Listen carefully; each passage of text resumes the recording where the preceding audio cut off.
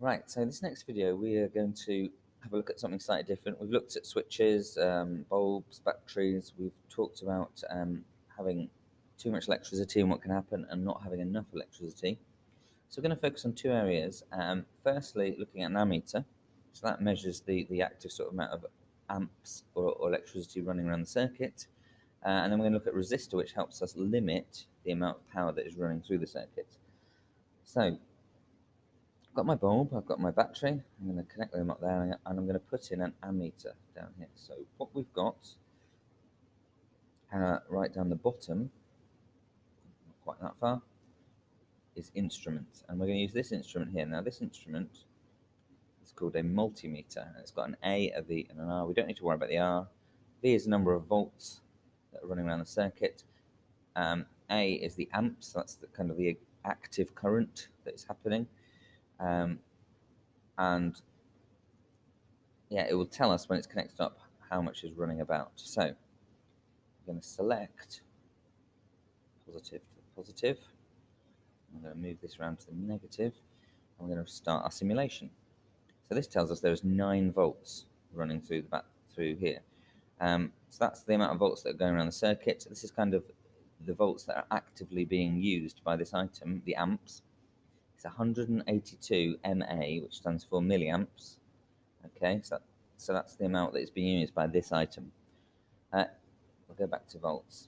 So remember the number of 182. We're going to need that later. So I'm going to add in another bulb.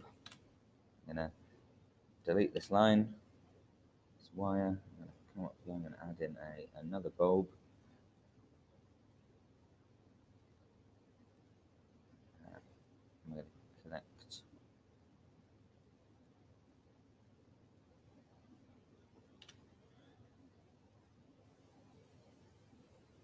that round like that. Just making sure it's all connected. Sometimes it's quite hard to see where the wires are connected.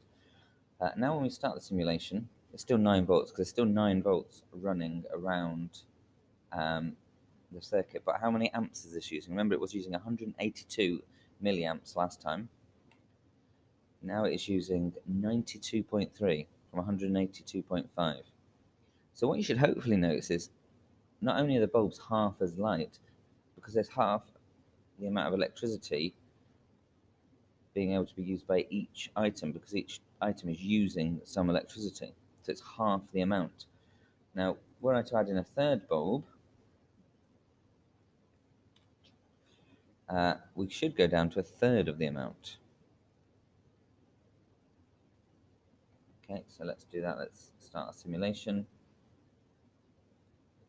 I appear to have uh, not connected this properly. It's a bit of an issue there. So let's, well, I've, I've linked it to the negative one accidentally. So let's start the simulation. Here we go. So we've still got the same amount of volts running around, but in terms of amps, in terms of the electric output, again, it's gone down to 61.9. So each time we add in the item, the number of amps is coming down. It's not allowing as much electric, electrical power to go through it.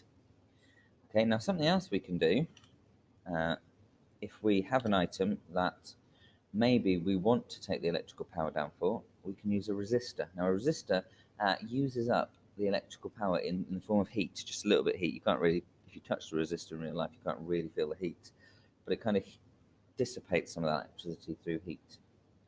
Uh, so we are going to go up to general and we're going to use a resistor. Now resistors come in different sizes, okay? So you can have a number of how, how much you want, how many ohms or kilo ohms or whatever you want, and that will affect how much is running through the item. So if we connect this up, our resistor, when we run, okay, the volts are still 9, but notice we're, we're down to 8.5 amps. So if I select my resistor and I take it uh, down to just ohms, the amps go up.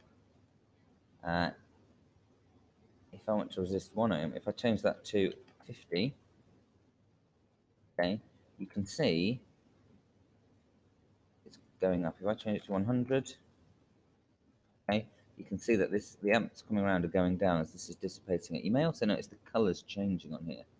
Now, those colours relate to uh, the actual level of the resistor. Okay, but we don't need to worry about that moment. All we need to know is that if we have no resistance on, we have a full 182 uh, milliamps coming through. If we put any form of resistance, every time we up the resistance, the number of electricity comes through. So before, when we used, uh, in the last video, we used our LED, and we connected that up,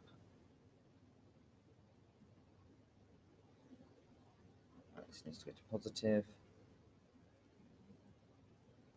Put, around, put that into negative. When we when we ran this, it exploded. What we can now do is add resistance. Well, it's still going to explode. Let's add 100.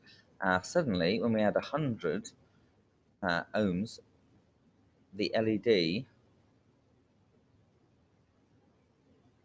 comes on. And now it's saying here, currently the LED is at 665 MA, while the recommended maximum is 20, so it might not be work properly. So we probably want, let's say, uh, 300. So we maybe want a bit more than that, maybe 350. And there we go. Our amps are changing. Our um, light is changing. And we're using the correct resistance to allow us to power that.